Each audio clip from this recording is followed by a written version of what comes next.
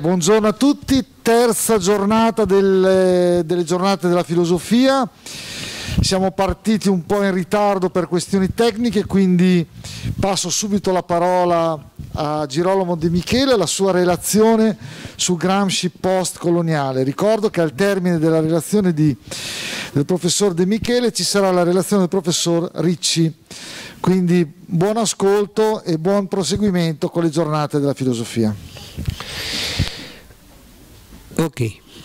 Allora, intanto grazie a Giuseppe che è uh, l'organizzatore di queste giornate e quindi uh, doppiamente grazie per la presentazione e per il contenitore. Il mio intervento si intitola Gramsci post, post-coloniale, ovvero come i subalterni possono prendere parola.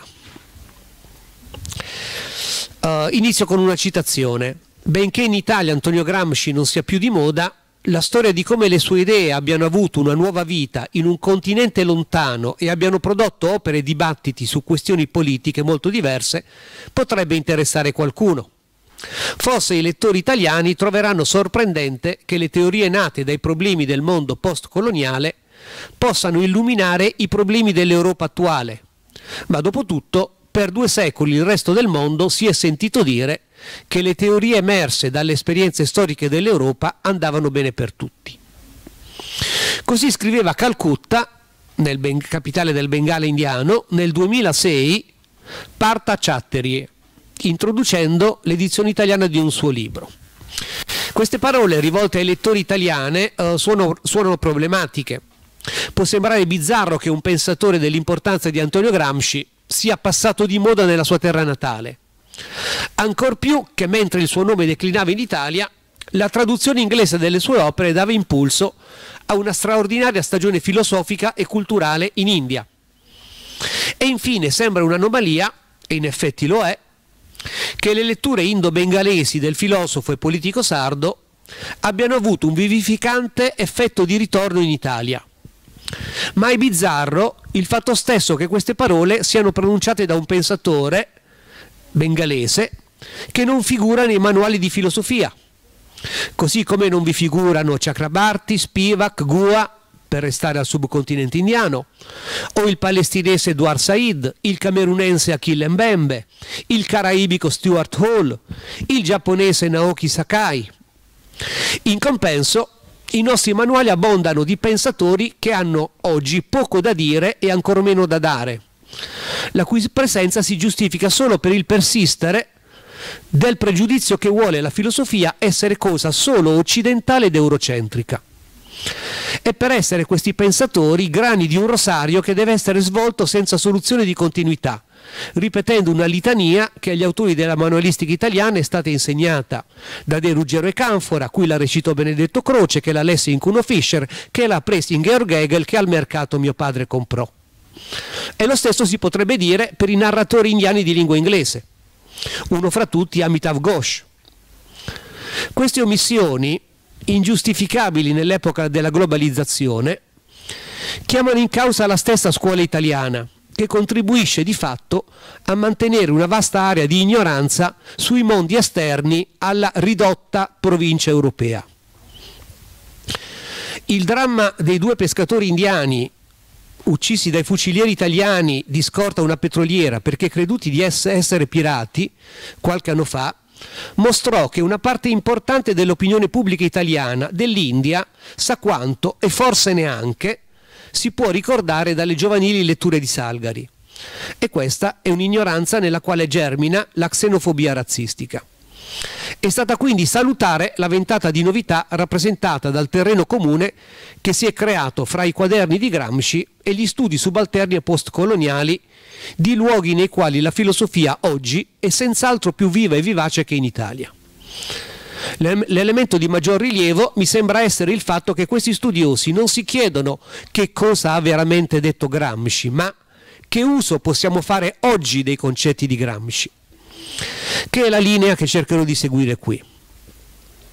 Che cosa dunque di Gramsci fa lievito nel pensiero postcoloniale degli ultimi decenni? A me sembra di poter individuare quattro temi. L'attenzione verso Gandhi, attenzione, Gramsci scrive tra la fine degli anni 20 e l'inizio degli anni 30. e muore prima che uh, la battaglia di Gramsci di Gandhi giunga a conclusione e all'indipendenza. La riflessione sul folklore, il concetto di subalterno, che è senz'altro il più importante e problematico, e la concezione gramsciana della traduzione. Gramsci mostra un'attenzione a dir poco sorprendente verso Gandhi.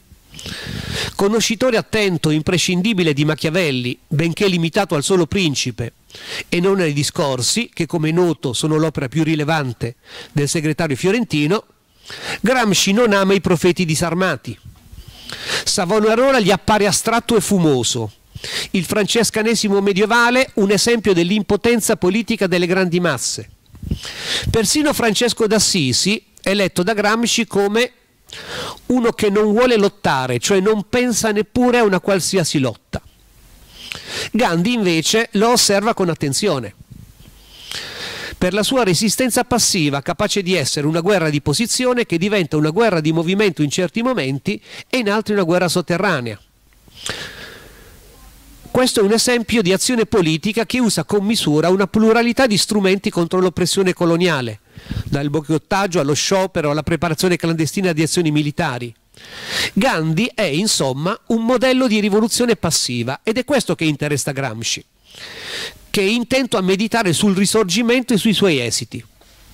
Per Gramsci il risorgimento è stata una rivoluzione passiva. Chiarisco, una rivoluzione è passiva quando è condotta da una minoranza che si trascina dietro la maggioranza, è attiva quando è condotta dalla maggioranza. Il risorgimento è stata una rivoluzione passiva condotta dalla borghesia settentrionale che si riconosceva nel programma di Cavour, a fronte del fallimento politico di Mazzini, incapace di portare a compimento una rivoluzione attiva se non che la mancata inclusione delle masse nel nuovo Stato unitario ha, ha incamminato l'Italia liberale su un percorso al termine del quale c'era la dittatura. Il Gramsci che si chiede cosa possiamo imparare da Gandhi sta riflettendo su cosa è andato male nel risorgimento, ma anche in filigrana come potrà essere rovesciata la dittatura fascista che lo ha condannato a morire in carcere. Ma c'è un'altra annotazione su Gandhi che merita di essere notata, laddove viene detto che Gandhi assieme a Tolstoi, anche lui un pensatore pacifista, può far comprendere le origini del cristianesimo e le ragioni del suo sviluppo nell'impero romano. Gramsci ha appreso da Marx, interprete acuto di Darwin, che è l'anatomia dell'essere umano che spiega quella della scimmia e non il contrario, perché mostra nella realizzaz sua realizzazione le potenzialità che erano implicite. Allo stesso modo c'è un potenziale nei movimenti spirituali cristiani delle origini che viene illustrato oggi dall'azione politica di Tolstoi e Gandhi. Il che significa, e dobbiamo tenerlo presente, che la storia non si attua secondo un rigido determinismo e non è orientata a uno scopo, ma presenta diverse possibilità nel suo svolgersi. Il secondo tema che ci servirà per la conclusione è quello del folklore. Qui Gramsci dedica qualche pagina nel quaderno 27. Attenzione, Gramsci si occupa di politica, di filosofia, ma si occupa anche di progresso industriale, di letteratura. Gramsci inizia la sua carriera intellettuale come critico teatrale e per inciso è il primo è il primo letterato a scoprire il teatro di Pirandello. E quindi non stupisce che si occupi di una cosa da letterati come il folklore, però lo riabilita. Il folklore non è una sorta di preistoria contemporanea e minore che poi superiamo con la cultura, ma è una concezione del mondo e della vita implicita in determinati strati della società, in contrapposizione con le concezioni del mondo ufficiali che si sono successe nello, nello sviluppo storico. E il folklore in stretto rapporto col senso comune, anche se in modo non elaborato e sistematico, attraverso il folklore i subalterni esprimono la propria concezione del mondo, il che significa riconoscere che ne hanno una e la espongono. Gramsci avanza addirittura l'ipotesi che si debba, nel caso del folklore, parlare di un agglomerato di frammenti di tutte le concezioni del mondo e della vita che si sono succedute nella storia e che si mantengono stratificate. I subordinati dunque esistono e si esprimono. Ma come? In che modo? Gramsci ne scrive nel quaderno 25 che segna una discontinuità rispetto alla precedente riflessione sulla questione meridionale. Nello scritto sul meridione, Gramsci fa alcune innovative e sensate affermazioni che hanno avuto la loro importanza nel pensiero indiano contemporaneo. Affermazioni che possono essere riassunte nella proposta politica di un'alleanza dei contadini del meridione con gli operai delle grandi fabbriche del nord. Ricordo ancora che Gramsci è un pensatore degli anni venti per un verso, secondo Gramsci, non ha senso che i contadini occupino terre incolte o mal coltivate se poi non dispongono di macchinari per lavorarle, di crediti per finanziare il lavoro, di cooperative per far circolare nel mercato i frutti della terra. Tutte cose che richiedono il controllo operaio sull'industria, in altri termini una rivoluzione o quantomeno una democrazia. Dall'altro lato, la questione meridionale è concepita non come un problema locale o settoriale, ma come una questione di interesse nazionale, anche se localizzato in una determinata area geografica. Questione della quale farsi deve farsi carico, secondo la classe operaia, che ha a cuore l'interesse generale e non il proprio particolare. Tuttavia, in quello scritto, che è l'ultimo prima dell'arresto e della detenzione di Gramsci, permane una sorta di pedagogismo nel rapporto fra l'operaio del nord e il contadino del sud che si ribella al latifondo occupando le terre. Come notarono Lanfranco Caminiti e, Fiora Piri Ardizzone, critici severi ma giusti, è come se al contadino che lotta venisse detto che nello sprecare le proprie forze in proteste inadeguate fa la cicala, invece di appellarsi alle operose formiche operaie del nord, come recita la famosa favola. Che siano operai o proprietari terrieri, sembra sempre che qualcuno debba mangiare in testa ai contadini. Come diceva Massimo Troisi, è per questo che l'hanno chiamato mezzogiorno, per essere certi di poterci mangiare sopra a qualunque ora arrivassero. Nel quaderno 25, invece, Gramsci elabora una concezione della società più complessa. Un chiarimento, perché continuo a parlare di quaderni? Perché Gramsci negli anni della detenzione ha compilato una serie di quaderni che sono almeno otto abbozzi di libri che avrebbe potuto scrivere ma che non ha mai scritto e che sapeva che non avrebbe potuto scrivere perché sapeva che sarebbe morto in carcere. E quindi noi Gramsci lo leggiamo o attraverso il riordino dei suoi scritti in singoli libri o attraverso la lettura continua dal primo all'ultimo quaderno. Intanto, torniamo a questa concezione complessa della società, accanto alle due classi sociali, la borghesia e il proletariato, compaiono i gruppi sociali subalterni. Questa complessità di formazioni sociali costituirà negli anni un prezioso strumento di analisi della società. Chatterie lo userà per interpretare i movimenti contadini in India. Stuart Hall per mettere in luce quella che lui chiama l'incorporazione differenziata di specifiche forme economiche all'interno dei regimi capitalistici. Per capirci, stiamo parlando di un pensatore caraibico, il modo in cui l'industria coloniale sussume al proprio interno le modalità di coltivazione, poniamo, della canna da zucchero o delle spezie se dai Caraibi ci spostiamo nell'Oceano Indiano. Questa incorporazione, ha dimostrato Stuart Hall, è sempre stata associata al sorgere di segmentazioni razziste o etniche. Inoltre, il rapporto fra subalterni e dominati non è più concepito come un esercizio di autorità o di forza, okay? come se lo Stato fosse un'organizzazione esterna che dall'alto impone il proprio dominio. Il potere di un ceto dominante è garantito attraverso l'esercizio di quella che Gramsci chiama egemonia, un concetto inscindibile da quello di subalternità. In parole povere, l'egemonia è la capacità di una minoranza di acquisire il consenso della maggioranza attorno alla propria concezione del mondo attraverso una pluralità di strumenti, fra i quali i ceti intellettuali. E qui faccio notare che per intellettuali Gramsci non intende la fascia alta della cultura, ma intende il ceto di coloro i quali sono istruiti, i quadri tecnici, i quadri intermedi. Se si parla dell'Italia degli anni 20 e 30, oh, non è così diffusa l'istruzione. Egemonia significa una vera e propria battaglia culturale attraverso la quale una visione del mondo si afferma fino a imporsi come l'unica, facendo passare in secondo piano quella dei subalterni. È così che la storia dei vincitori si impone sui vinti e i subalterni finiscono per interiorizzare il punto di vista dei dominanti.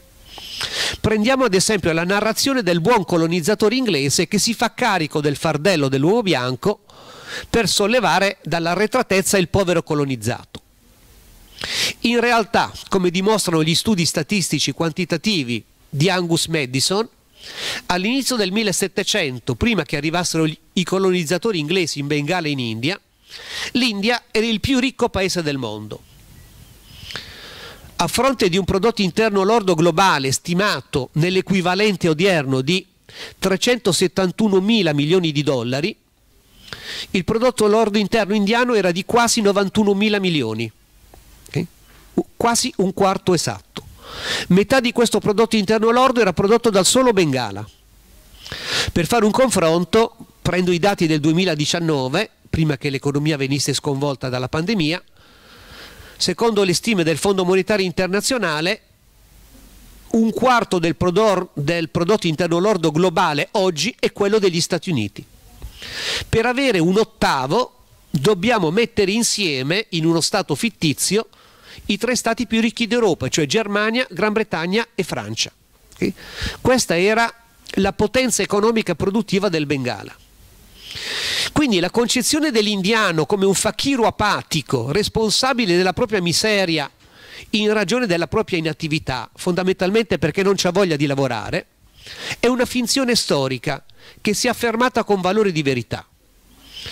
Come scrive Margaret Atwood, che è canadese e quindi conosce bene il colonialismo sia europeo che quello culturale, cito, c'è la storia, poi c'è la storia vera, poi c'è la storia di come la storia viene raccontata, poi c'è quello che si lascia fuori dalla storia, che fa parte anch'esso della storia.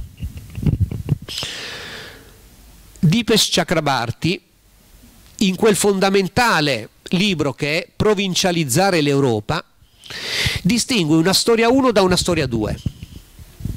La storia 1 è il passato che viene posto come propria condizione da parte del capitale, che crea l'illusione di uno sviluppo univoco e progressivo della storia, come se ci fosse un'unica causa che ha determinato l'attuale effetto. La storia 2 invece sono quegli eventi passati contenuti nello sviluppo, ma non coerenti con esso e potenzialmente divergenti. Come sono gli elementi di sviluppo in senso non capitalistico o non britannico o non imperialistico che erano presenti nella società indiana del Settecento. Lo stesso Chakrabarti, in uno studio successivo, ha fatto notare che i filosofi tedeschi come Schmidt e Heidegger, che negli anni 30 iniziano a parlare di immagine del mondo, dell'unificazione del globo in un'unica rappresentazione, stanno in realtà parlando dell'immagine del mondo europea che con il colonialismo si è imposta in ogni angolo del mondo. Edward Said ha coniato per questo il termine orientalismo, per designare l'immagine dell'Oriente che si creano gli occidentali per dominarlo. Attenzione, i greci creano la distinzione tra Oriente e Occidente, greco e persiano, per tenere a distanza l'Oriente. I colonizzatori moderni creano l'orientalismo non per tenere a distanza, ma per impossessarsi dell'Oriente. Fa parte di questa immagine del mondo che si impone sui subordinati l'idea che ci sia un unico modello di sviluppo e che chi non vi partecipa sia in qualche modo fuori dalla storia.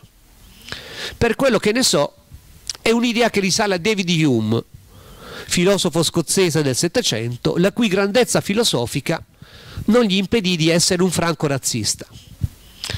Nelle sue riflessioni su, cito un titolo, come civilizzare i rudi e barbari abitanti delle Highlands, cioè gli scozzesi del nord, l'intellettuale scozzese delle Lowlands della Scozia del Sud, di Edimburgo, scrive che la rude cultura degli Highlander si caratterizza per durare senza divenire.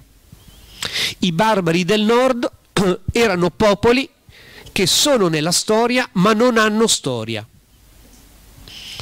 Questa concezione di popoli senza storia, che Hume applica anche agli africani, legittimando lo schiavismo, lo stesso Hume era azionista di una società che commerciava in schiavi, la ritroviamo in Hegel e poi in Heidegger, sempre in riferimento alle popolazioni africane.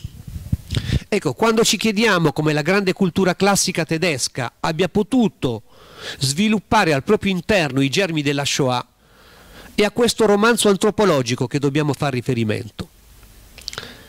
Ma lo stesso discorso può essere svolto in riferimento alla storia d'Italia. E infatti lo è stato da parte di alcuni studiosi che sotto il nome collettivo di orizzonti meridiani hanno utilizzato le letture indiane di Gramsci per rileggere la storia della colonizzazione del meridione che ai politici come Massimo D'Azeglio e Francesco Saverionitti, ma anche a un antropologo come Alfredo Niceforo, allievo di Cesare Lombroso, teorizzatore dell'esistenza di due razze italiane, quella del nord e quella maledetta, è una citazione, del sud delle isole. Niceforo andò a fare delle ricerche proprio nella Sardegna di Gramsci per dimostrare il carattere maledetto e inferiore dei sardi. Ecco, il meridione appare come, cito, un paradiso abitato da diavoli, biologicamente inferiore, senza spirito civico e bassi morali. Di fatto, questi scrittori di un razzistico romanzo antropologico, eh, l'espressione di Napoleone Colaianni, elaboravano in nuce quelle categorie che, distinguendo gli esseri umani in razze, sarebbero poi passate nel manifesto della razza, a designare l'inferiorità di ebrei e africani. Perché anche noi italiani abbiamo una giga, immensa cultura classica e anche noi italiani abbiamo germinato il fascismo e le leggi razziali. I subalterni sono quindi coloro a cui viene negata la storia e con essa le parole per narrarla. È qui che Gayatri Spivak, filosofa bengalese, pone una domanda provocatoria. Can the subaltern speaks? Domanda volutamente ambigua nella lingua inglese, perché in inglese to speak è sia transitivo che intransitivo. E quindi ci si chiede non solo se possa parlare il subalterno, ma di cosa possa parlare. Ma al tempo stesso anche subalterno è un termine ambiguo in inglese, perché può essere declinato tanto al maschile quanto al femminile. E in realtà Spivak, in riferimento ad alcuni casi tipici del Bengala, si chiede in effetti se, sia, se la subalterna, cioè la donna, possa parlare. Chi è subalterno può prendere parola? È una domanda non banale, ok? Se torniamo col pensiero ai due marinai indiani che stavano cercando di prendere parola per spiegare che la petroliera stava recidendo le reti da pesca, ma in quanto subalterni sono stati interpretati come pirati. E poco importa se nello stato indiano del Kerala la pirateria non c'è mai stata, neanche nei romanzi di Salgari. Ma se il subordinato parla, può farlo senza rimanere irretito nel linguaggio dominante?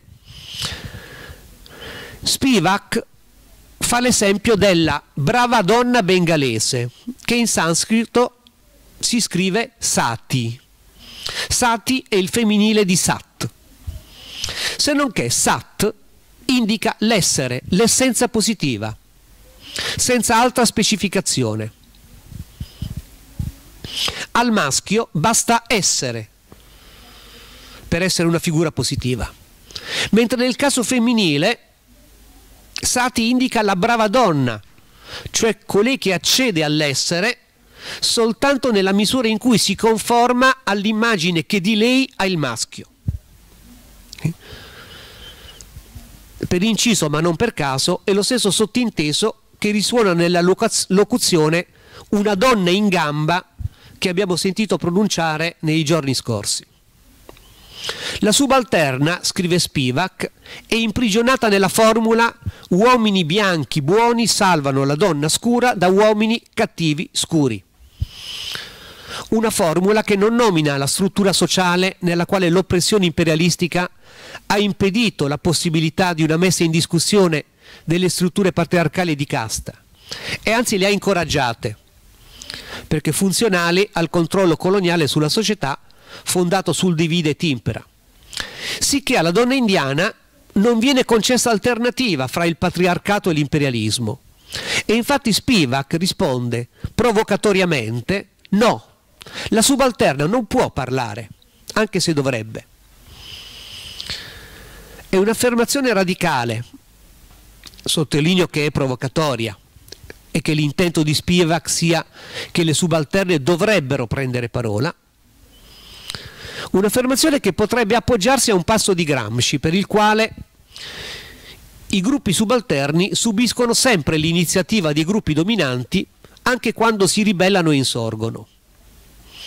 Non di meno, nel folklore abbiamo visto che i subalterni si esprimono e producono una cultura popolare capace di autonomia dal linguaggio mainstream.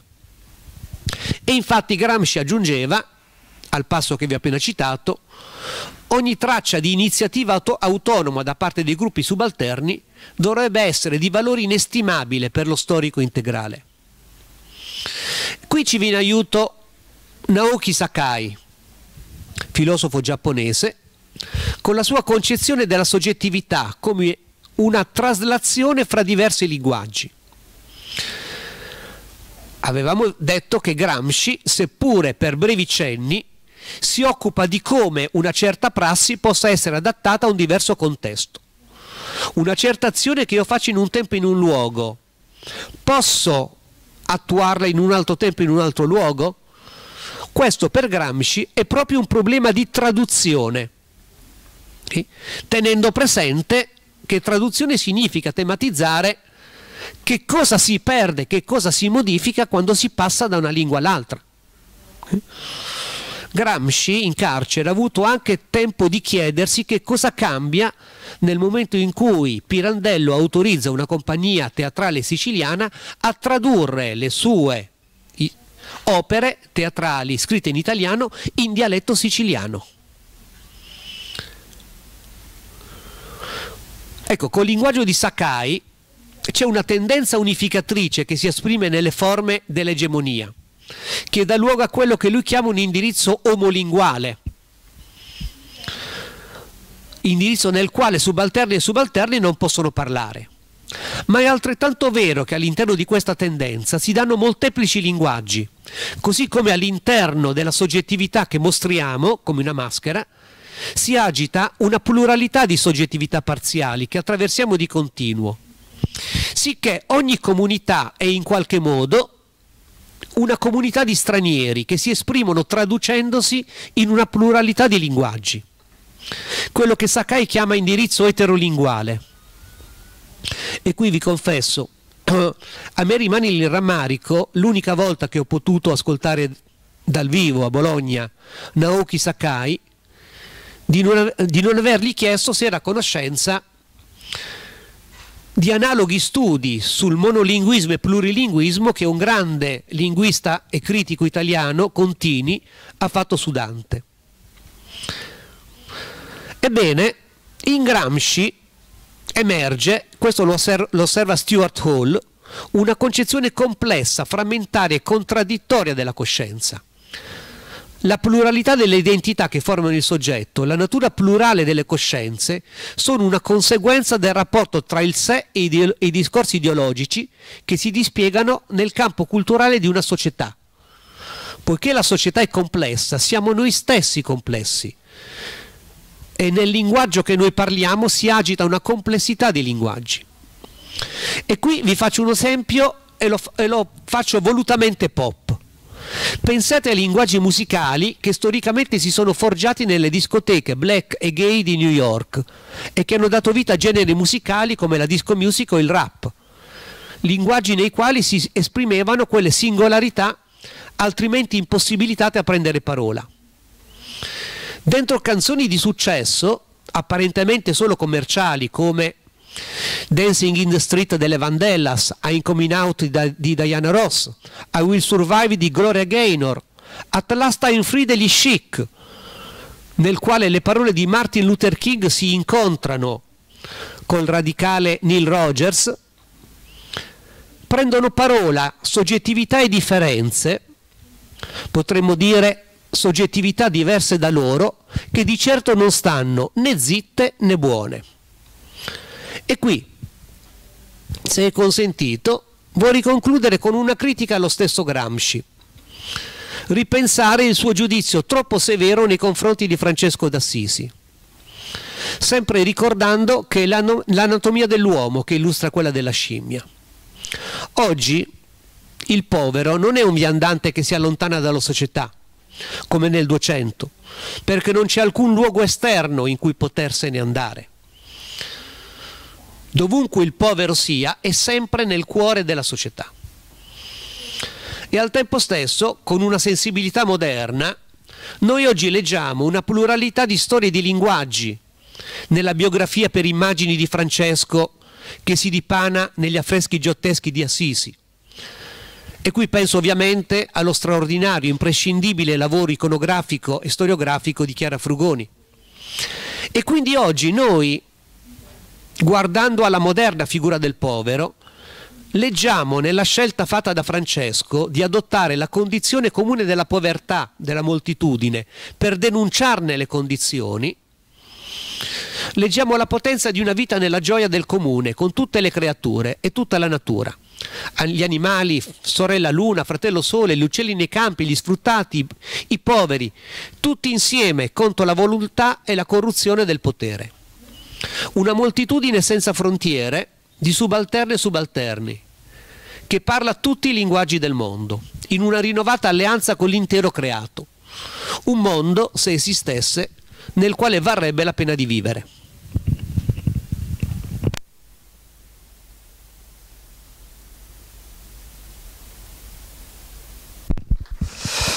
Bene, allora grazie Girolamo per questa esposizione ricca di informazioni, ricca di riferimenti.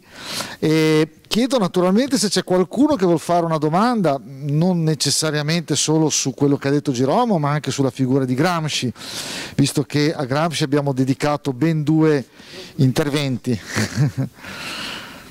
qualcuno?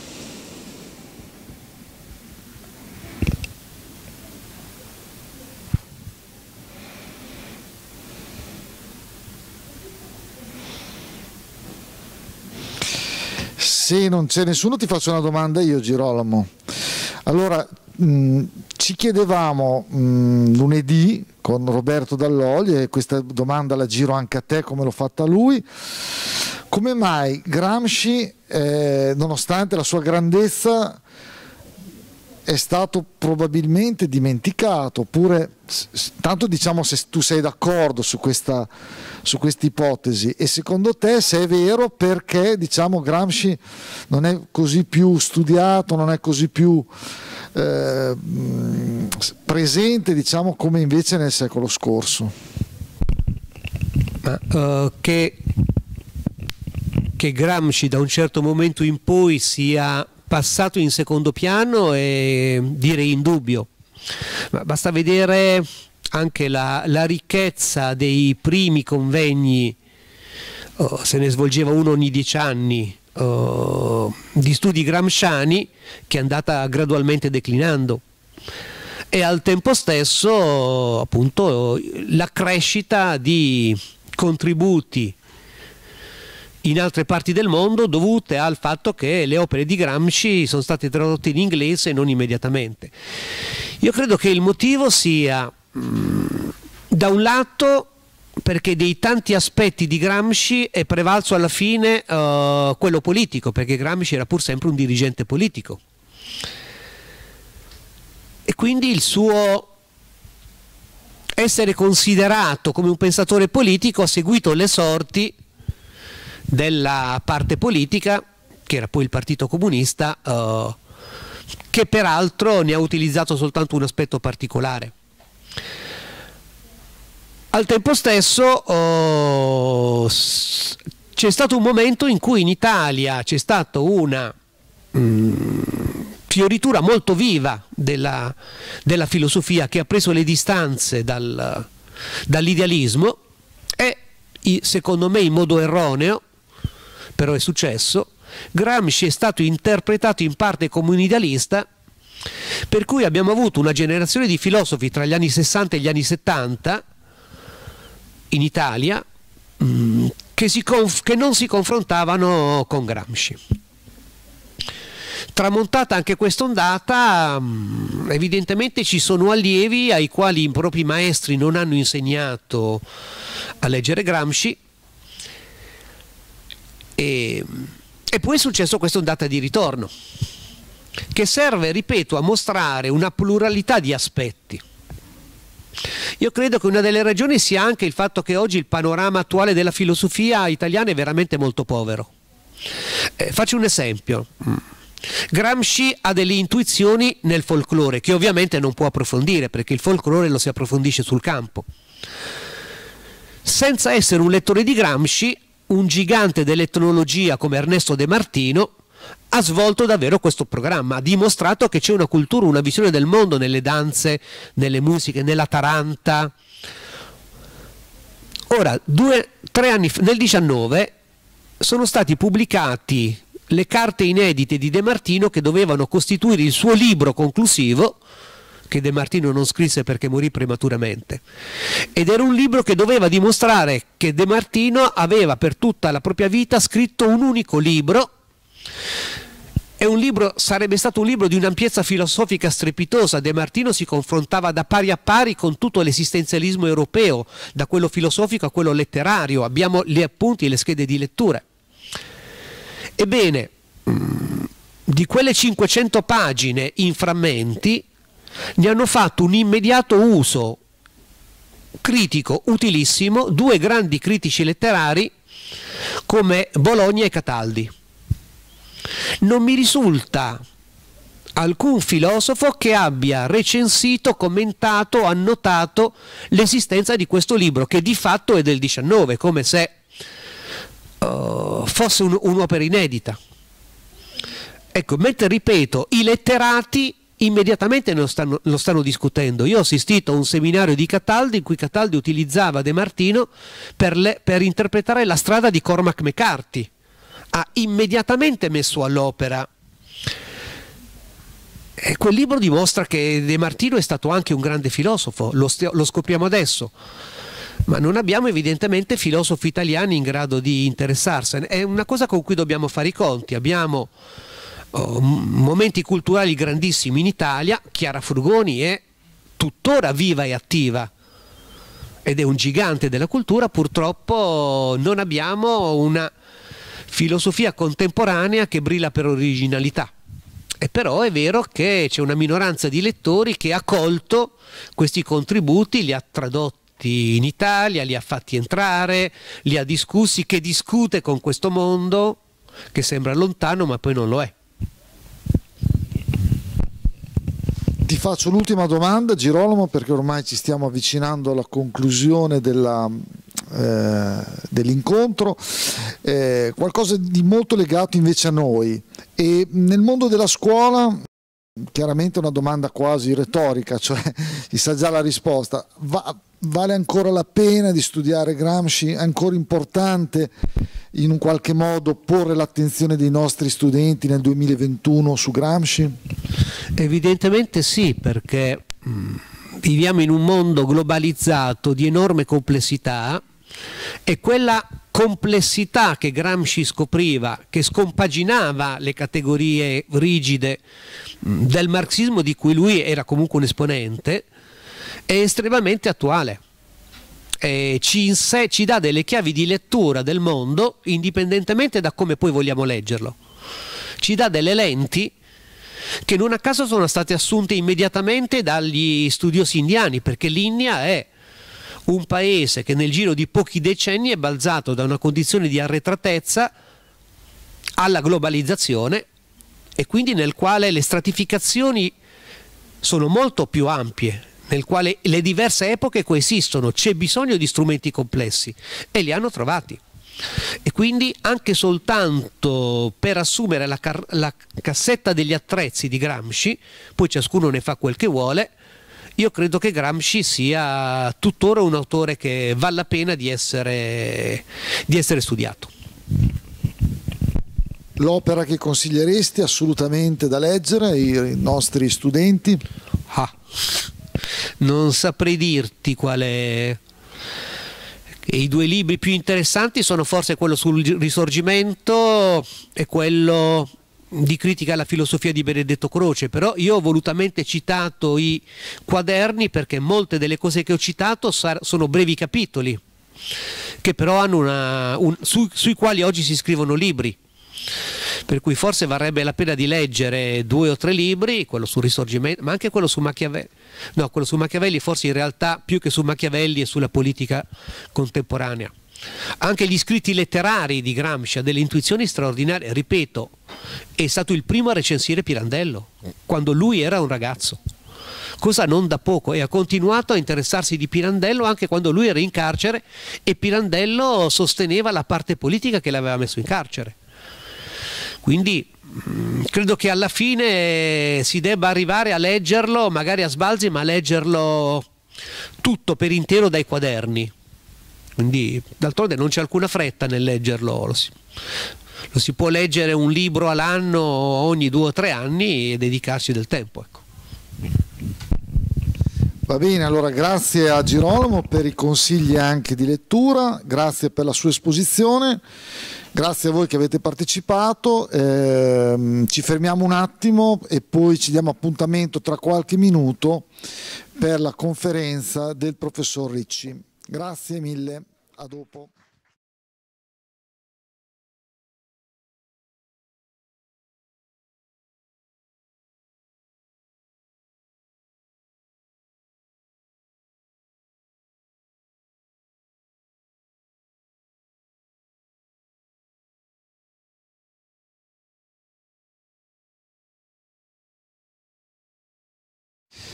Bene, allora direi che ci siamo. Ultimo intervento di queste tre giornate della filosofia. Un piacere per me, come è stato un piacere presentare i miei colleghi in precedenza, presentare anche Roberto Ricci che ci presenta eh, una, un argomento sicuramente molto interessante che riguarda anche le interconnessioni tra la fisica e la filosofia, se ho capito bene Roberto. Bene, buon ascolto a tutti. Mi sentite? Sente bene? Allora, buongiorno a tutti, grazie di essere presenti a questo incontro conclusivo delle giornate della filosofia del liceo Ariosto. Abbiamo voluto, organizzandole, che queste giornate fossero il più possibile rappresentative della varietà di temi con cui non solo la filosofia si è sempre confrontata, ma continua a confrontarsi anche oggi. E infatti il primo incontro, quello con Giovanni Merlo, riguardava questioni di una zona che possiamo considerare al confine tra la metafisica e la logica. Poi ci sono stati interventi di filosofia della politica che hanno riguardato in particolare la figura di Antonio Gramsci. Ieri c'è stato un dibattito sui temi dell'eutanasia, del suicidio assistito, dell'omicidio del consenziente, cioè temi della bioetica che interessano la filosofia cosiddetta morale. Ecco, oggi tocca alla filosofia della scienza.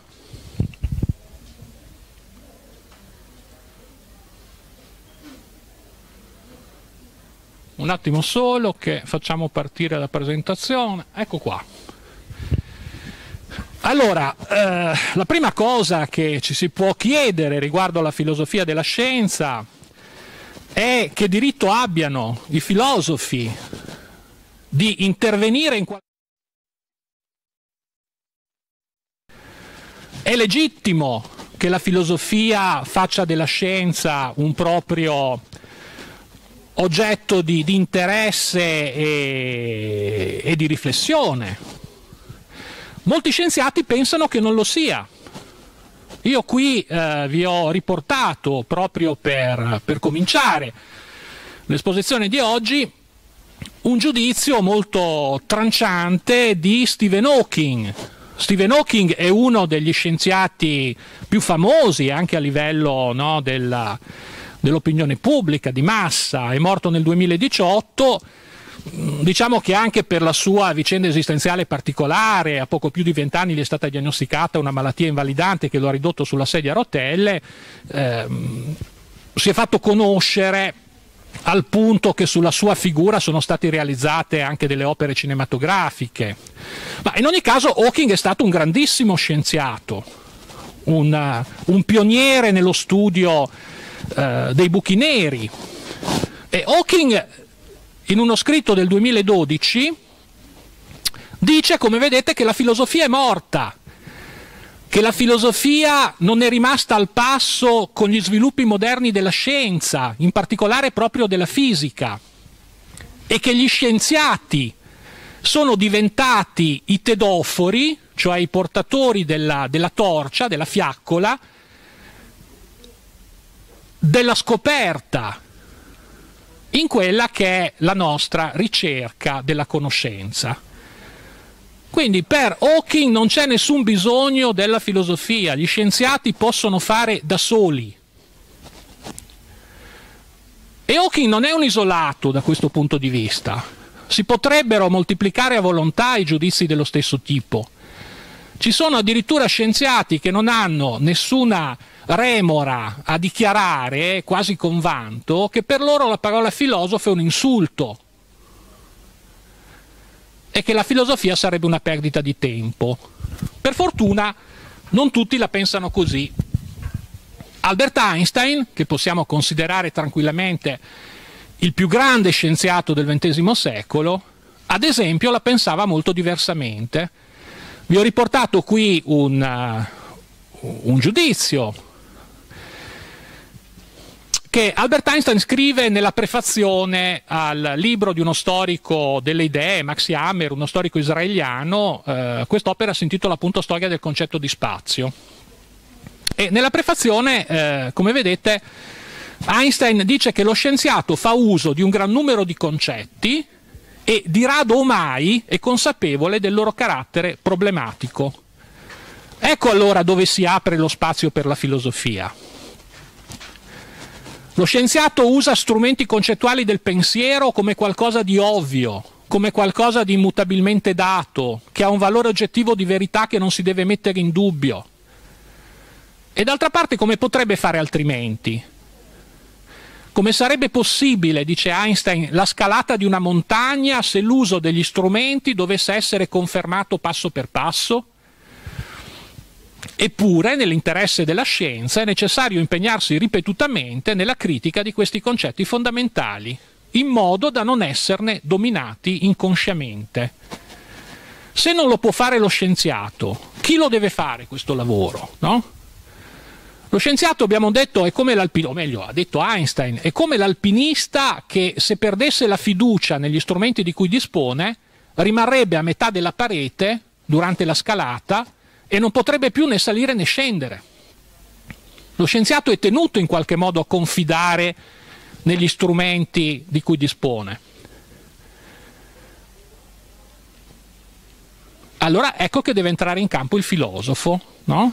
Il compito del filosofo è proprio quello di analizzare, di mettere in discussione, di definire i concetti fondamentali di cui gli scienziati si servono abitualmente in modo ingenuo. Questo Hawking sembra non avere capito. Che la scienza non è fatta solo di equazioni, non è fatta solo di esperimenti, ma è fatta di interpretazioni che vengono elaborate a partire da quei dati tecnici.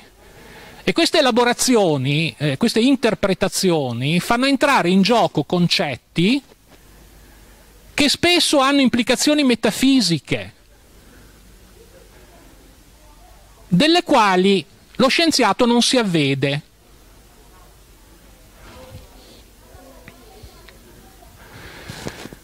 Qui vi ho riportato un'altra citazione che fa il paio con quella di Einstein ed è di un grandissimo scienziato, un grandissimo studioso di meccanica quantistica, John Bell, il quale in questo, in questo scritto breve intitolato Contro la misurazione eh, dice ecco alcune parole, che sono poi naturalmente alcuni concetti, che quantunque legittimi e necessari nell'applicazione, non trovano posto in una formulazione che abbia la pretesa di precisione fisica. E quali sono queste parole? Quali sono questi concetti che cita Bell?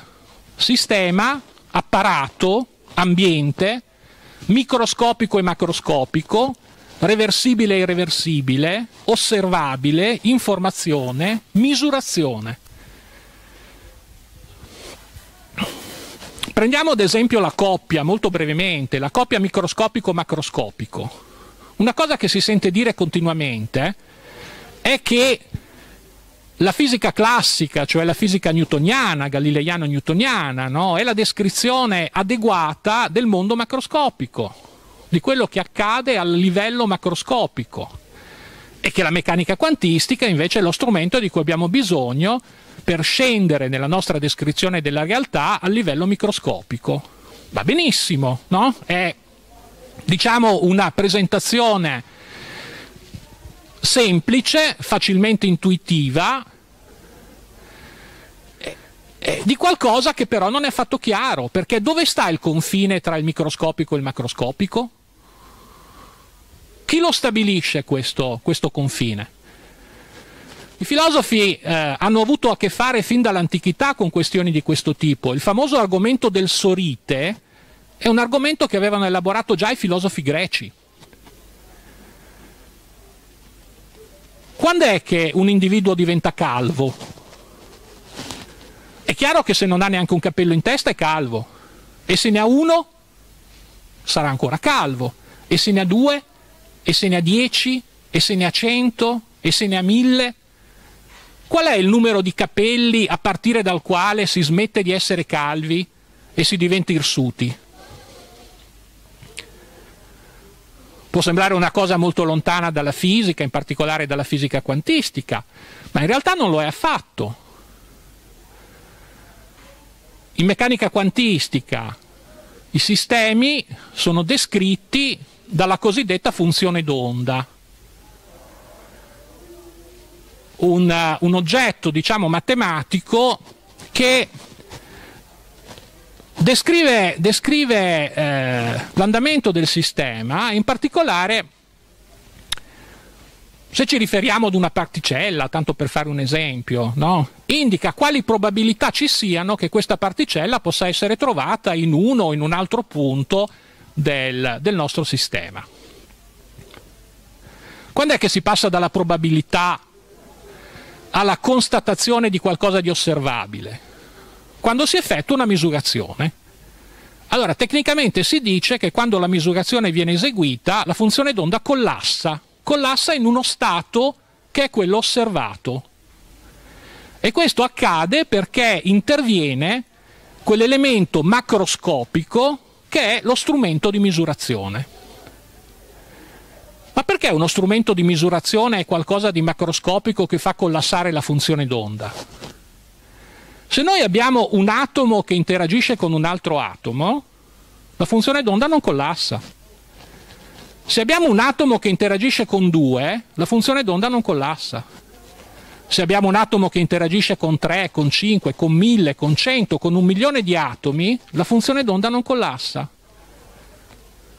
È lo stesso discorso del calvo. Quando è che qualcosa diventa macroscopico e produce l'effetto di determinare il collasso della funzione d'onda? Meccanica quantistica non ce lo dice. I fisici quantistici, per lo più, non si pongono questo problema, ignorano questa difficoltà. Spesso i fisici rispondono a chi solleva queste questioni shut up and calculate. Taci e fai i conti, come se questo fosse il compito del, del fisico, cioè dello scienziato. E in una certa misura lo è. Ma allora alle difficoltà irrisolte chi deve rispondere? Ovviamente il filosofo. Il filosofo che a questi problemi è sensibile e che su questi problemi ha qualcosa da dire.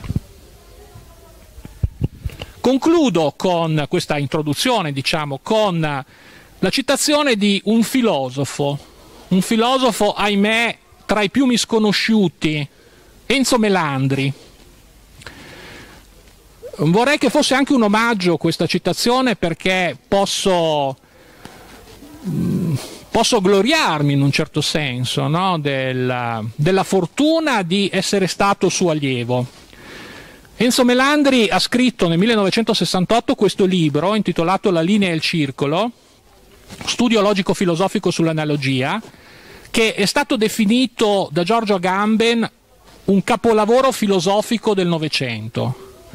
Un testo che sta alla pari di opere come l'archeologia del sapere di Michel Foucault, ad esempio, Usa, uscita l'anno successivo, uscita nel 69. Libri che hanno, che hanno segnato la filosofia dello scorso secolo. L'opera di Melandri invece è rimasta in ombra perché in Italia non è stata, non è stata valorizzata. Ed è un peccato, anche se negli ultimi anni è, in corso una riscoperta del pensiero di questo autore. Ad ogni modo, Melandri scrive che essendo la filosofia implicita in ogni attività umana non automatica, ma invece riflessiva e cosciente, molto spesso le innovazioni più importanti provengono da quelle cognizioni non filosofiche che, entrando in conflitto con altre o fra di loro, subiscono una crisi riflessiva che ne distrugge l'ovvietà pragmatica e le rende operanti a livello filosofico. Questo naturalmente vale anche per le scienze. Che le scienze sorgano distaccandosi dalla filosofia è vero, ma è solamente una mezza verità. L'altra metà di questa mezza verità è che la filosofia sorge dalle crisi delle scienze, alimentandosi di quanto vi è in esse di non scientifico e le crisi di fondazione rivelano periodicamente che in ogni scienza c'è parecchia metafisica e a portare in luce questa metafisica provvedono appunto, appunto i filosofi. Melandri, ad esempio, sosteneva che le scienze fossero nate addirittura nel Neolitico, naturalmente nella forma appunto eh, puramente pragmatica no? delle, delle tecniche, ma proprio perché tutto questo fa dei problemi, allora si è sviluppata la filosofia come riflessione, come tentativo di, di presa di coscienza no? di che cosa la scienza è e di quali sono i suoi limiti. Quindi è cominciato un dialogo che non si è più interrotto, un dialogo che ha visto le scienze stimolare la filosofia e la filosofia stimolare le scienze in un gioco di influenze reciproche che alla fine ha giovato a entrambe e che quindi è bene continui. Allora arriviamo alla, alla, al tema del nostro incontro di oggi, la crisi della ricerca teorica in fisica dei fondamenti. Allora sottolineerei l'espressione ricerca teorica, qui non è in gioco la ricerca sperimentale, ma quella puramente teorica. E non in questo o quell'altro settore della fisica, che sono tanti, ma nel settore specifico della fisica dei fondamenti. C'è, vi sarà capitato di sentirla nominare, la fisica dei sistemi complessi, la fisica della materia condensata o dello stato solido, c'è ovviamente la fisica astronomica o astrofisica, eh, chi più ne ha più ne metta. I fisici fanno tante cose diverse. Tra queste c'è la fisica dei fondamenti o fisica delle particelle elementari o fisica delle alte energie. Ed è quella che, che ci interessa. Anche perché è in questa che si sono realizzate no, nel Novecento, che possiamo considerare il secolo della fisica, le più grandi rivoluzioni, a cominciare dalla rivoluzione einsteiniana, che si è attuata in due atti, prima con la pubblicazione della teoria della relatività ristretto speciale nel 1905 e poi con la pubblicazione della teoria della relatività generale nel 1915. Quasi contestualmente si compiva l'altra rivoluzione, la rivoluzione cosiddetta dei quanti. A dare inizio a questa è stato Max Planck nel 1900 con quella legge che viene chiamata di solito spettro di emissione del corpo nero. Cosa ha fatto Planck? Ha studiato in che modo eh, viene da parte di un corpo no, viene emessa radiazione luminosa. E ha scoperto che questa eh, radiazione non viene emessa in modo continuo, ma viene emessa in modo discontinuo, cioè sono pacchetti di energia chiamati appunto quanti, quelli che eh, i corpi emettono. Planck in realtà ha fatto questa scoperta in un modo un po' casuale, nel senso che eh, dal suo punto di vista si trattava più che altro di un espediente di calcolo, mh, mm, assumere i valori dell'energia emessa come discontinui, come suddivisi in pacchetti. A capire l'importanza di, di questa intuizione di Planck sarebbe stato pochi anni più tardi ancora una volta Albert Einstein, che eh, per questo ha vinto il premio Nobel Paradossalmente Albert Einstein non ha vinto il premio Nobel per la teoria della relatività, né per quella ristretta né per quella generale, ma per ehm, i suoi scritti, il suo scritto del 1905 sul, proprio sul um, proprio sui quanti di luce i cosiddetti fotoni. Quindi è cominciata a partire diciamo, dal 1900, a partire poi dal, dall'intervento di Einstein, una, una storia che ha visto protagonisti tanti grandi fisici. Se la rivoluzione relativistica ha un padre, quella dei quanti invece ne ha molti da Planck ad Einstein, potremmo citare poi eh, naturalmente Werner Heisenberg, Max Born, Wolfgang, Wolfgang, Pauli eh, e proseguendo Paul Dirac, Erwin Schrödinger naturalmente che ha definito l'equazione fondamentale della, della meccanica quantistica e così via. Diciamo che tra il 1925 e il 1926 la meccanica quantistica viene a definirsi come una teoria tutto sommato completa, no? almeno dal punto, vista, dal punto di vista formale. Cos'è il paradosso del rabbino? In che senso la conoscenza che abbiamo del mondo fisico deve essere riconosciuta come una conoscenza problematica?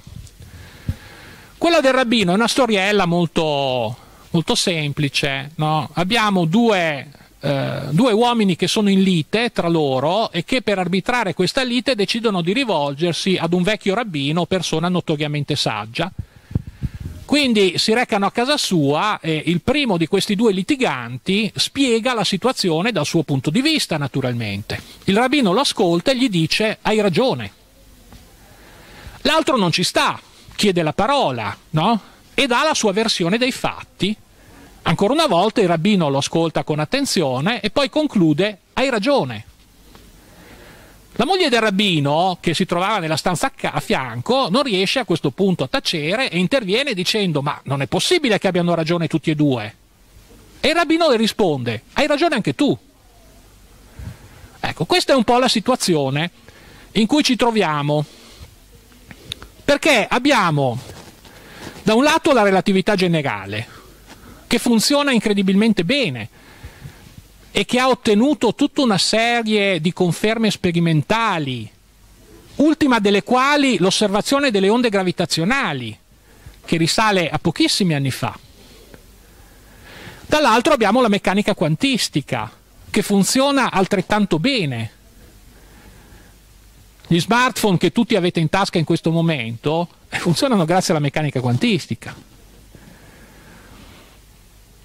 Quello che noi sappiamo sulle proprietà chimiche. Dei metalli, degli elementi in generale della tavola periodica, lo sappiamo grazie alla meccanica quantistica. Eppure queste due teorie fisiche non possono essere entrambe corrette, almeno non possono esserlo nella loro formulazione attuale, perché si contraddicono, si contraddicono reciprocamente, sono come i litiganti del, del nostro paradosso del rabbino. Da un certo punto di vista hanno ragione entrambi, ma non possono avere ragione entrambi.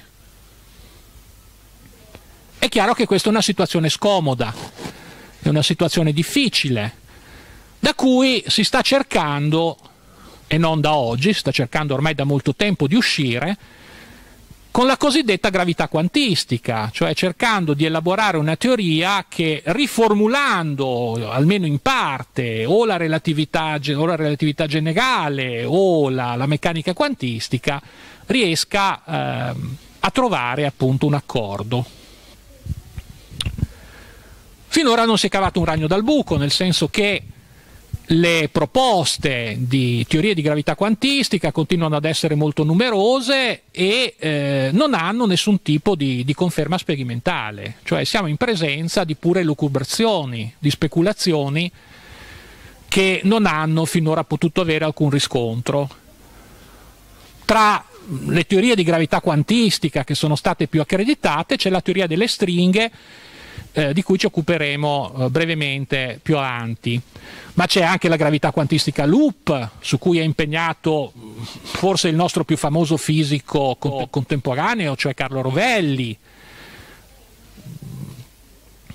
C'è la teoria dei twistor proposta dal premio Nobel Roger Penrose, c'è so, la geometria commutativa, ma insomma c'è tutta una serie estremamente, estremamente ampia di, di proposte.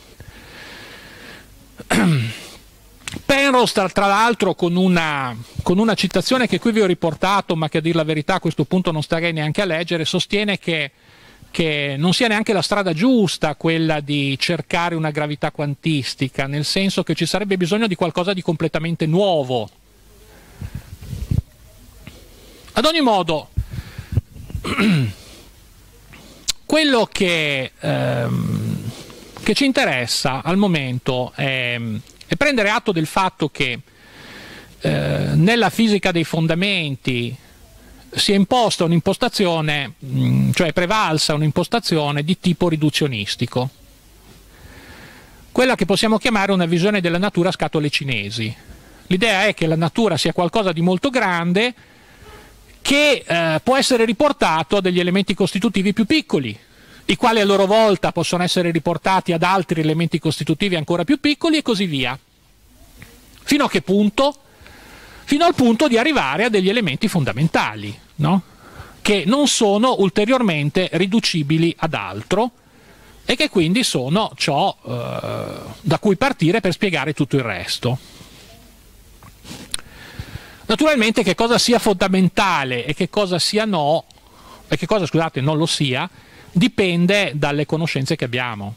Cioè quello che è fondamentale oggi potrebbe rivelarsi non, non più fondamentale domani se eh, acquisissimo nuove conoscenze. Quello che non è fondamentale viene chiamato emergente. Quindi diciamo quello che oggi è fondamentale domani potrebbe essere emergente. In realtà sullo sfondo di questa questione c'è un altro problema, che è quello del, um, di tutti quei, quei fenomeni di carattere fisico che presentano una natura di carattere caotico e che non sembrano spiegabili sulla base di questo riduzionismo. La fisica che citavo prima dei sistemi complessi, ad esempio, non ha modo di procedere eh, sulla base del riduzionismo.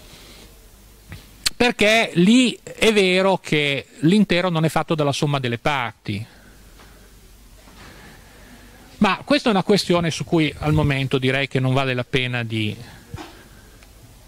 di soffermarci. Invece dobbiamo entrare, diciamo, molto, molto brevemente, insomma, ad illustrare quelli che sono considerati attualmente i fondamenti no, della, della fisica, e cioè il cosiddetto modello standard delle particelle elementari e delle integrazioni fondamentali.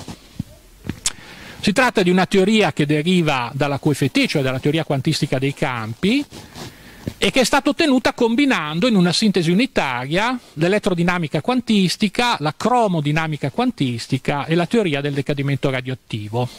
Ognuna di queste tre teorie di campo fa riferimento ad una delle interazioni o forze fondamentali. La cosiddetta interazione elettromagnetica per quanto riguarda l'elettrodinamica, la interazione nucleare forte per quanto riguarda la cromodinamica e l'integrazione debole, nucleare debole per quanto riguarda il decadimento radioattivo. C'è una quarta forza fondamentale, cosiddetta forza, anche se in realtà il termine non è molto indicato, eh, comunque forza fondamentale della natura, che è la forza gravitazionale naturalmente, la quale però nel modello standard non è contemplata.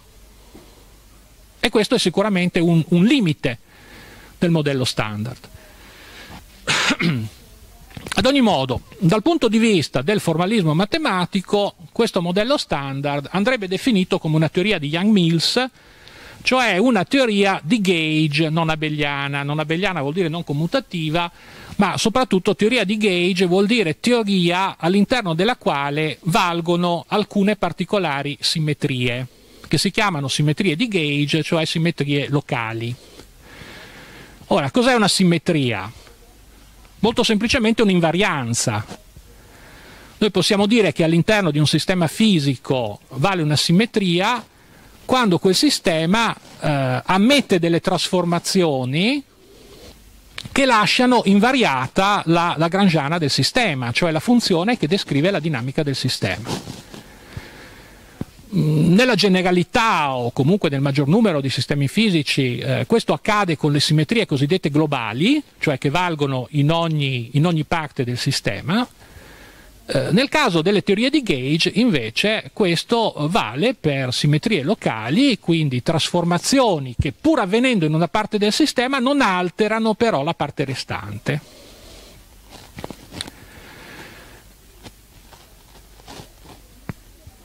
La teoria matematica dei gruppi eh, si applica alle teorie di gauge e nel caso del, del, modello, del modello, standard eh, l'insieme dei gruppi che lo caratterizzano è appunto quello riportato qui, abbiamo il gruppo SU3 per l'integrazione eh, nucleare forte, il gruppo SU2 per quella nucleare debole e infine il gruppo U1 per quanto riguarda l'integrazione elettromagnetica.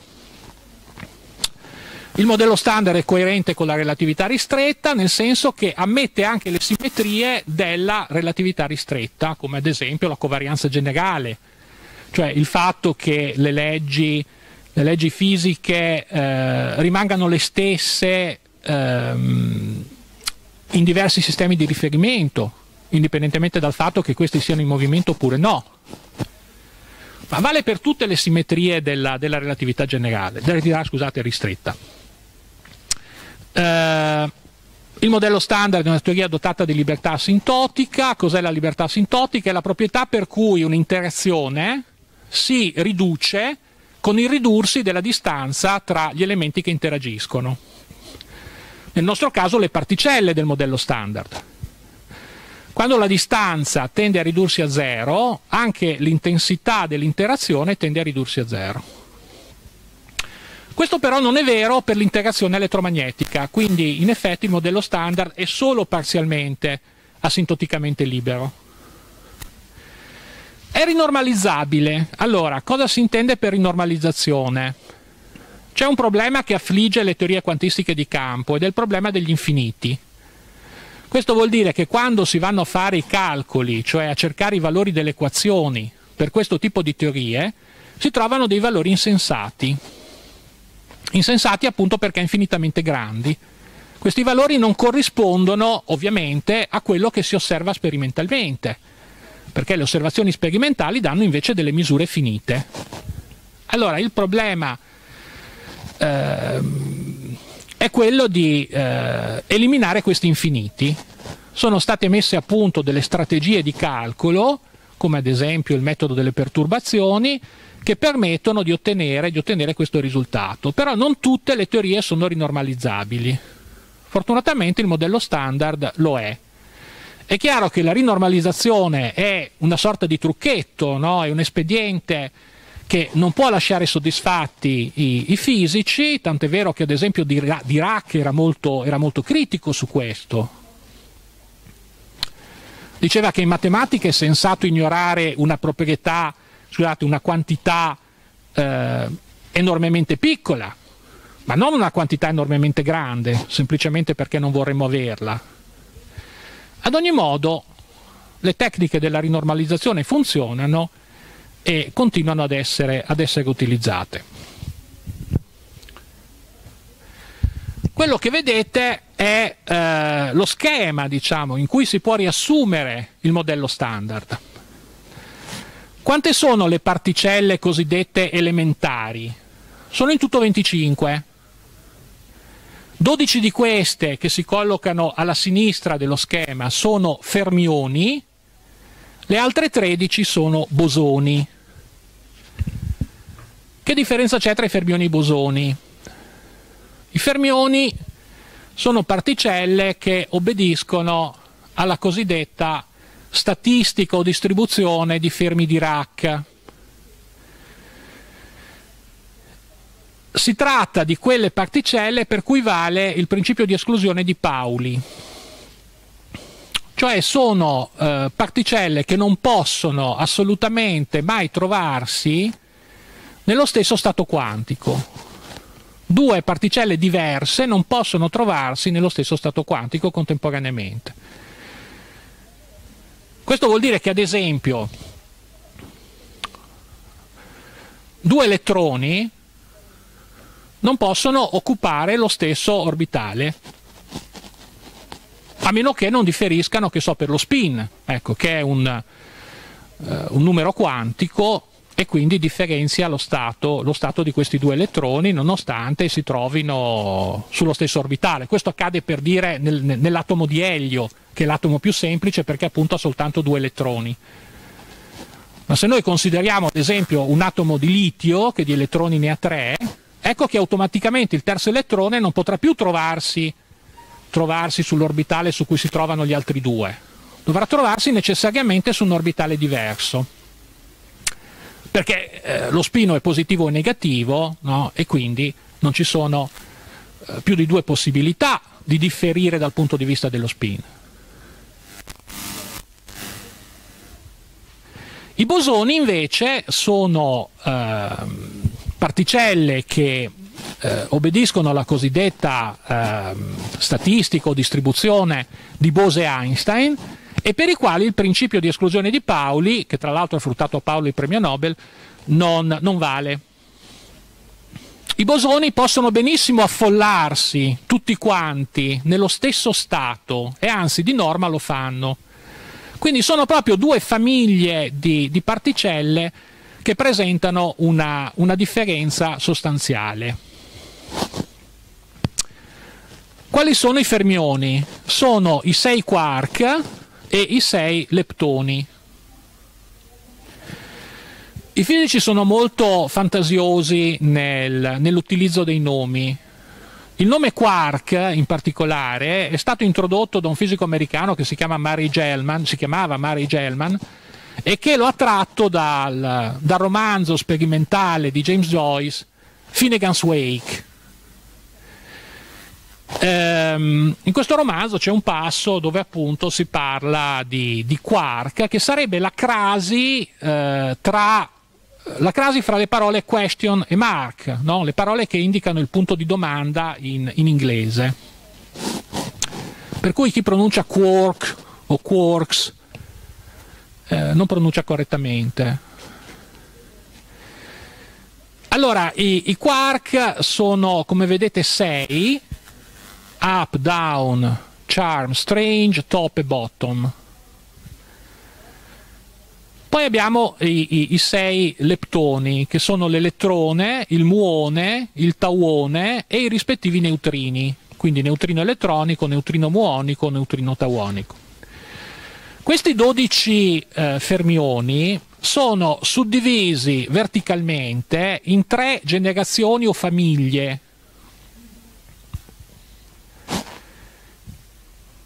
Dovete tenere presente che tutta la materia del, potremmo dire, dell'universo visibile, quindi tutta la materia che noi conosciamo è costituita dai, ehm, dai fermioni del, della prima famiglia, della prima generazione. E questa è una cosa abbastanza inspiegabile, cioè viene da chiedersi perché una tale sovrabbondanza, no? Perché esistono anche i, i quark, i leptoni della seconda e della terza generazione? Se ciò che producono sono semplicemente delle particelle che poi immediatamente decadono. Sembra che ci sia stato uno spreco di risorse, no? che ci sia stata una sovrabbondanza di elementi impiegati rispetto a quello che era strettamente necessario. Ad ogni modo, ripeto, eh, la materia che noi conosciamo è formata di quark up and down, di elettroni e di neutrini elettronici. Un protone, ad esempio, è formato da uh, due quark up e da un quark down. I quark up e quelli down differiscono per, per la carica, per la carica elettrica, che uh, nel primo caso ha valore 2 terzi, nel secondo caso ha valore meno un terzo. E questo è tipico dei, dei fermioni, cioè avere una carica elettrica frazionaria. Allora, se sommate due quark up, due terzi più, de, più due terzi, trovate quattro terzi, no? Meno un terzo del quark down, tre terzi, cioè uno, che è esattamente la carica elettrica del protone, unitaria. Allo stesso modo, se unite in una tripletta, si chiamano così, no? Due quark down e un quark up, si ottiene meno un terzo meno un terzo meno due terzi più due terzi zero. Il neutrone, che come dice la parola stessa, è elettricamente neutro. Questi, ehm, queste particelle formate dall'unione, dall dei quark vengono anche chiamate in generale hadroni, o nel caso specifico delle triplette vengono chiamati barioni. Ma insomma le parole sono, sono tante e Enrico Fermi diceva se riuscissi a ricordarmi il nome di tutte le particelle sarei un botanico, non sarei un fisico. Ad ogni modo, quella che tiene legati tra di loro i quark in queste triplette è l'interazione nucleare forte, che avviene attraverso lo scambio di particelle bosoniche, che sono nel caso specifico i gluoni. I gluoni sono otto. Il nome naturalmente viene dalla parola inglese glue che significa colla, no? Ecco, lo scambio di gluoni tra i quark è ciò che tiene appunto i quark uniti, uniti tra di loro e che permette a questi quark di formare quelle particelle che poi stanno unite nel nucleo nel nucleo dell'atomo. Il fotone invece è il, il bosone mediatore dell'integrazione elettromagnetica,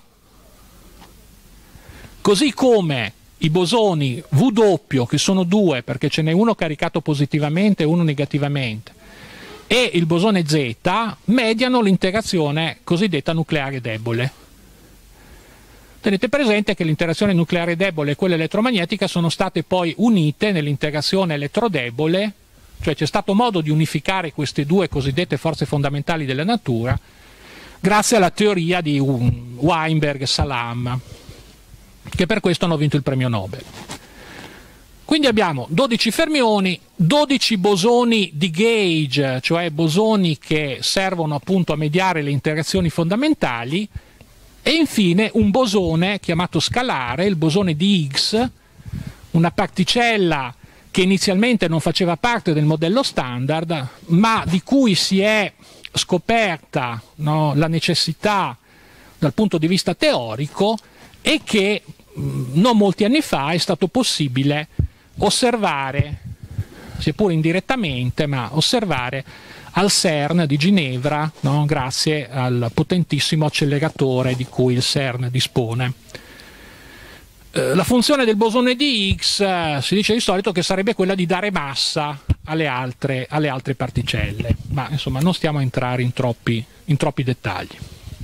Allora, questo modello standard è stato elaborato ehm, nell'arco, possiamo dire, di una ventina d'anni, anni 60, inizio anni 70 del, dello scorso secolo. Già la metà degli anni 70 era sostanzialmente completo. Ai fisici non piace, piace pochissimo, lo considerano disordinato, confuso, pieno di difetti. Eh, da un lato, come abbiamo detto, ignora l'interazione gravitazionale, cioè la quarta forza fondamentale della natura. Tra le particelle elementari non ci sono i gravitoni, cioè le particelle che dovrebbero appunto costituire il campo gravitazionale. È vero che un gravitone non è mai stato osservato, anche perché per poterlo osservare servirebbe un acceleratore eh, delle dimensioni del pianeta Giove e bisognerebbe che questo acceleratore fosse fatto orbitare intorno a una sorgente potentissima di gravitoni tipo che so una stella di neutroni ed è chiaro che questo è totalmente al di là, totalmente al di fuori della nostra, della nostra portata. Ma i gravitoni sono stati teorizzati e il, il modello standard non ne tiene conto. Poi c'è da dire che questo modello contiene un numero molto alto di elementi che non hanno spiegazione o che comunque nei termini della teoria non sono calcolabili. Alcuni li abbiamo già visti, no? Perché tre generazioni di fermioni e non una soltanto, non ad esempio quattro o cinque? Non c'è risposta per questa domanda, almeno il modello standard non la dà perché proprio quei gruppi di simmetria e non altri? Sono stati fatti tentativi di eh, individuare dei gruppi di simmetria più ampi no? che, potessero che potessero contenere questi tre in vista di una teoria di grande unificazione come viene chiamata. Ma sono finora falliti tutti quanti perché tutta una serie di parametri, cioè di costanti, hanno esattamente il valore che è stato possibile calcolare sperimentalmente. Questo non lo sappiamo. La teoria non ce lo spiega. È il caso ad esempio delle masse dei quark, no? O dei leptoni. Perché proprio quel valore e non altro? I neutrini, ad esempio, si riteneva fino a poco tempo fa che fossero per quanto riguarda i, i, i leptoni, no? i neutrini si riteneva fino a poco tempo fa che fossero privi di massa. E invece si è, si è scoperto sperimentalmente che per quanto il loro valore di massa sia molto piccolo, però comunque positivo. Ma non sappiamo perché. Le costanti di accoppiamento, cioè i valori che esprimono proprio l'intensità delle interazioni, anche quelli non sappiamo perché abbiano il valore che hanno la costante di struttura fine, ad esempio, che è la costante di accoppiamento dell'integrazione elettromagnetica, avrebbe un valore chiamato alfa no? di circa 1 fratto 137, ma non, non c'è motivo di sapere, di sapere perché. E poi una cosa importante è che il modello standard ignora la materia oscura, la cosiddetta dark matter, no? Che, eh, di, della cui esistenza ci si è convinti grazie a tutta una serie di osservazioni cosmologiche.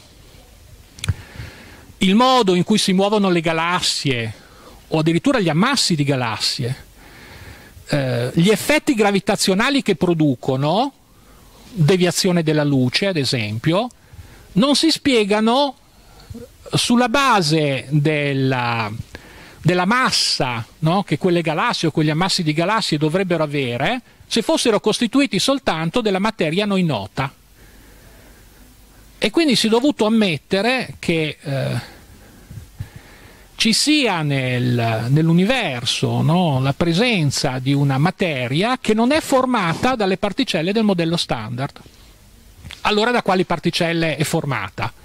Eh, non lo sappiamo, anche su questo sono state fatte molte, molte ipotesi, continuano ad essere fatti molti studi, no? ma finora senza, senza risultato. Quindi insomma è evidente che il modello standard non sia soddisfacente più di tanto, anche se in realtà eh, si è dimostrato estremamente affidabile, eh, nel senso che tutte le verifiche sperimentali, o meglio, tutti i controlli ecco, sperimentali che è stato possibile fare, eh, hanno sempre confermato la validità di quel modello, a dispetto, potremmo dire, dei suoi, dei suoi limiti.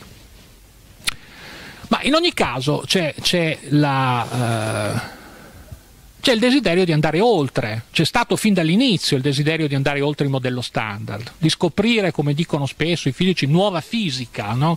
scoprire cosa c'è al di là. E purtroppo i tentativi che sono stati fatti dalla metà degli anni 70 ad oggi hanno portato una serie clamorosa di fallimenti ed è per questo che nel titolo no, dell'intervento si parla di crisi della ricerca teorica nella fisica dei fondamenti. Cosa ha prodotto la ricerca teorica negli ultimi 50 anni?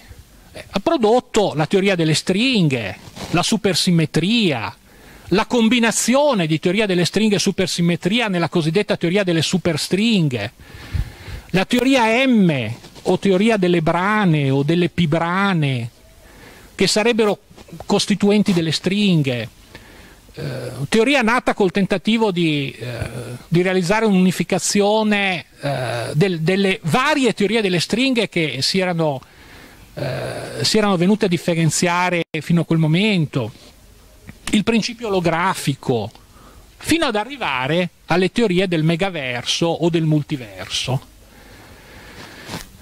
Questa è stata definita fisica fiabesca, fairy tale physics.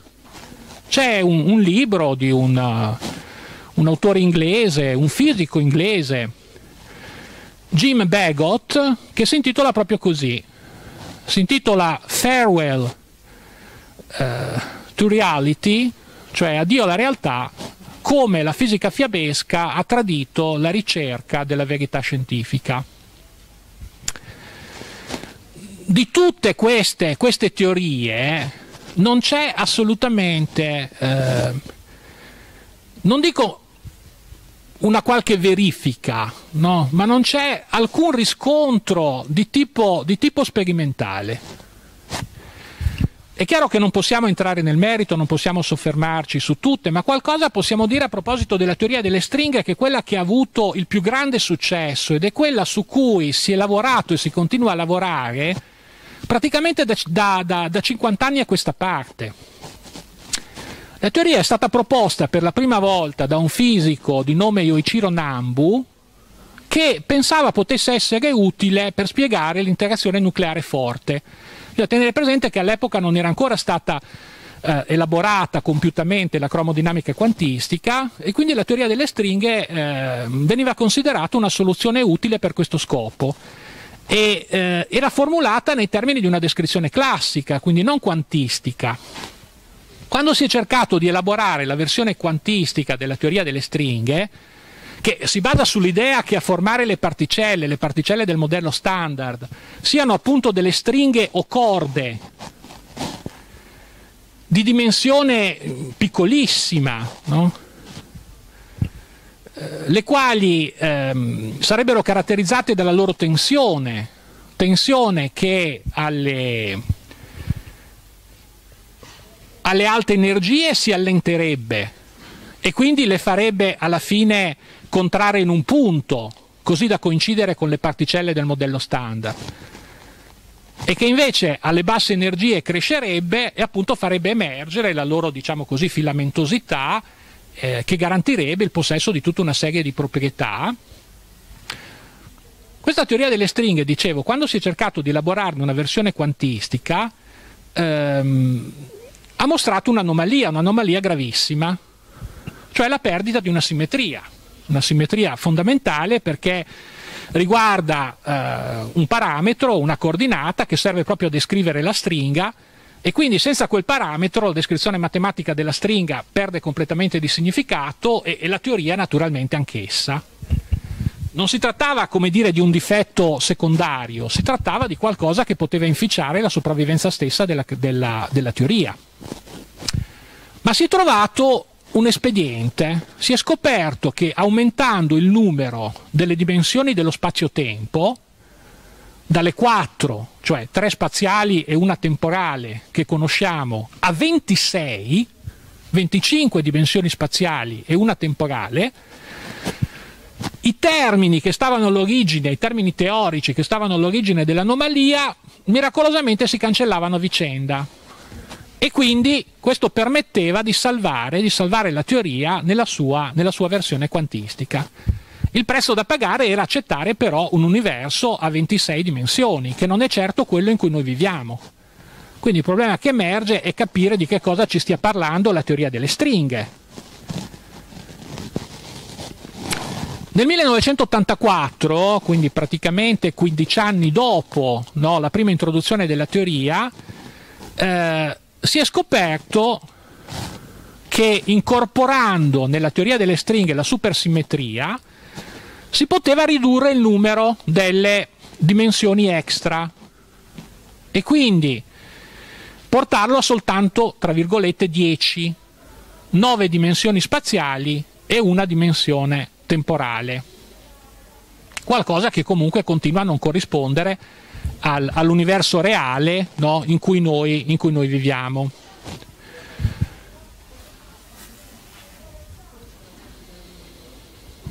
Allora, mi rendo conto di avere perso il controllo del tempo e di essere andato, andato lungo. Uh, brevissimamente, questo che cosa ci porta?